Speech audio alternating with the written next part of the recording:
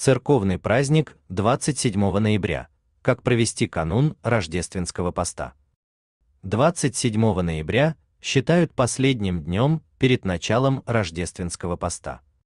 Сегодня украинцы завершали все работы в полях и устраивали дома посиделки с разными угощениями. Что нужно делать, а какие существуют запреты в этот день, читайте ниже в материале. Какой сегодня религиозный праздник? 27 ноября православная церковь чтит память святого апостола Филиппа. Он был самым молодым учеником Христа и занимался изучением священного писания. Говорят, он умел воскрешать из мертвых. Однажды святой Филипп вернул к жизни мертвого младенца.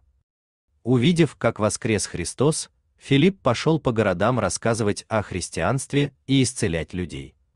Так он спас жену Антипата от укуса змеи.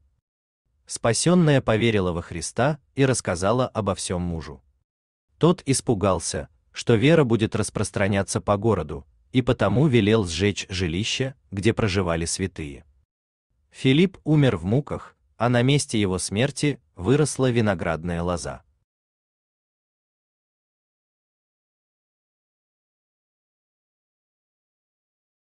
Запреты на Филиппов день.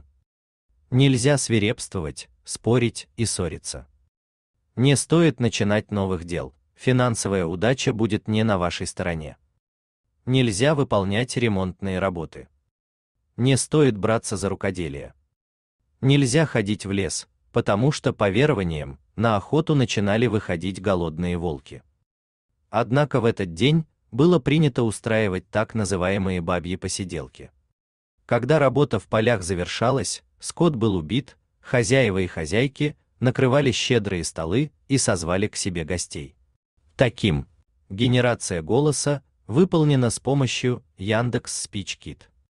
Образом, люди хотели насытиться всеми вкусностями перед началом рождественского поста, когда есть это все запрещено. Обязательным было посещение церкви утром.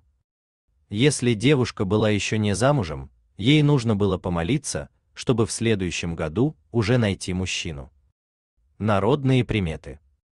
Иной утром в следующем году будет богатый урожай овса.